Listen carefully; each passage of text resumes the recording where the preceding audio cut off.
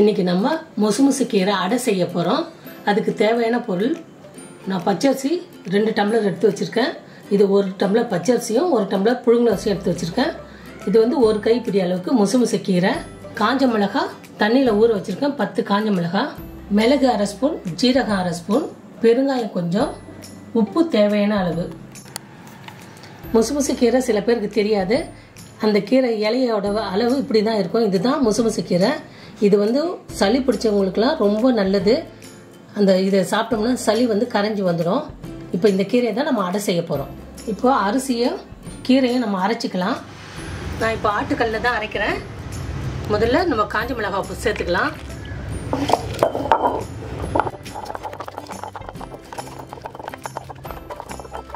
இப்போ இந்த முசுமுசு கீரையை நம்ம சேர்த்துக்கலாம். இது கூடவே ஜீரகத்தையும் மிளகையும் நம்ம சேர்த்துடலாம். இப்போ அரிசியும் கூட சேர்த்துக்கலாம்.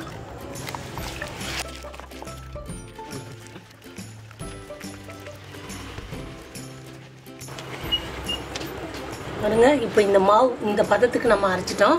இப்போ இந்த ஸ்டேஜ் தான் நம்ம எடுத்துடலாம்.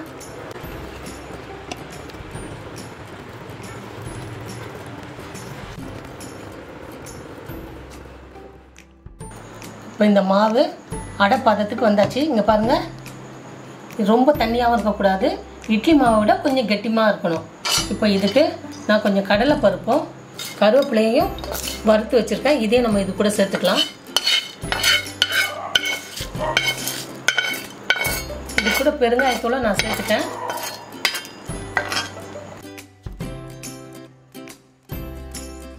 இது கொஞ்சம் நல்லா கலந்துக்கலாம்.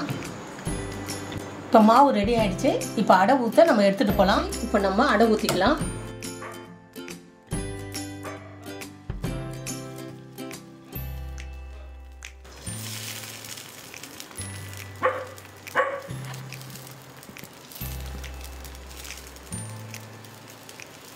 கொஞ்சமாக சைடில் எண்ணெய் ஊற்றிக்கலாம் நம்ம.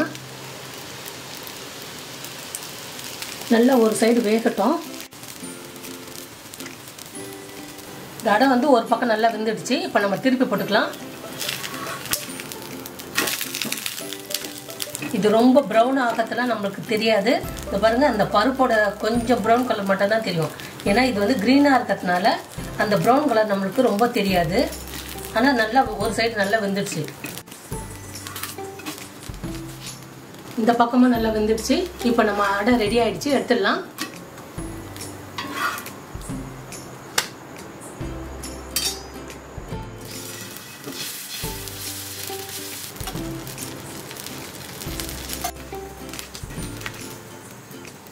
சுவையான முசுமுசு அடை ரெடி ஆயிடுச்சு. இது ரொம்ப டேஸ்ட்டாக இருக்கும். இது கூட நம்ம தேங்காய் சட்னியும் வெங்காய சட்னியும் வச்சு சாப்பிட்டோம்னா ரொம்பவே டேஸ்ட்டாக இருக்கும். இது உடம்புக்கும் ரொம்ப நல்லது. அதே ஏற்கனவே நான் சொன்ன போல் சளி பிடிச்சிருக்கிறவங்களுக்குலாம் ரொம்பவே நல்லது இது. இந்த ரெசிபியை ட்ரை பண்ணி பார்த்துட்டு எனக்கு கமெண்ட்ஸில் சொல்லுங்கள் இந்த வீடியோ உங்களுக்கு பிடிச்சிருந்தா லைக் பண்ணுங்கள் ஷேர் பண்ணுங்கள் மறக்காமல் நம்ம ராஜேஸ்வரி சேனலுக்கு சப்ஸ்கிரைப் பண்ணுங்கள் அடுத்த வீடியோவில் நான் சந்திக்கிறேன். நன்றி வணக்கம்.